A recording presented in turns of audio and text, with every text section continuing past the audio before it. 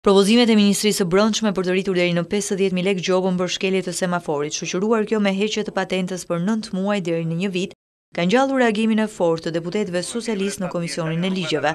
Për anëtarët e këtij komisioni, rritja e gjobave për shkelje të rregullave qarkullimit rrugor do të favorizojë korrupsionin në radhët e policisë, ndërkohë që në vlerësimin e tyre masat janë shumë të ashpra për situatën ekonomike të familjeve shqiptare.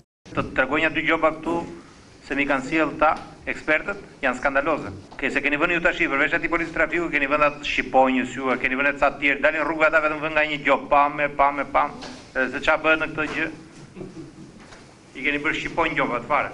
Ju e dini shumë mirë dhe nuk ka nevojë pse ta ta zgjas në këtë histori që shpesh ata që quhen policë trafikut në rrugët kombëtare Kthehen në gjobavënës klasik.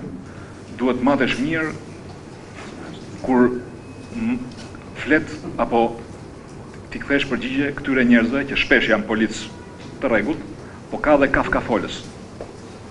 Besoj që e mirëkuptoni kur them kafsha folëse, se nuk janë njerëz dhe kanë mendjen vetëm te lekët. Kjo do të thotë të ngresh sistemin korruptiv. Kjo do të thotë që t'i lesh në dorë punonjësit të policisë Ose më paguaj mua haraçin ose unë do të vë maksimumin. Po të më heqësh ti mua patentën, nëntë muaj të më heqësh bukën e fëmijëve, me atë mbaj për shembull familjen, apo një vit, apo gjashtë muaj, apo siç ka ndodhur tani rëndom së fundmi që unë e di po hiqet patenta nga gjashtë muaj, mua më duket jo normale zot kryetar. Jo rritje të të gjobave.